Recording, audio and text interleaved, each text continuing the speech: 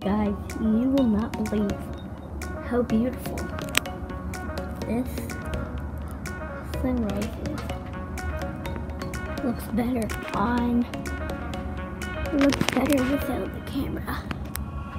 Let's go show.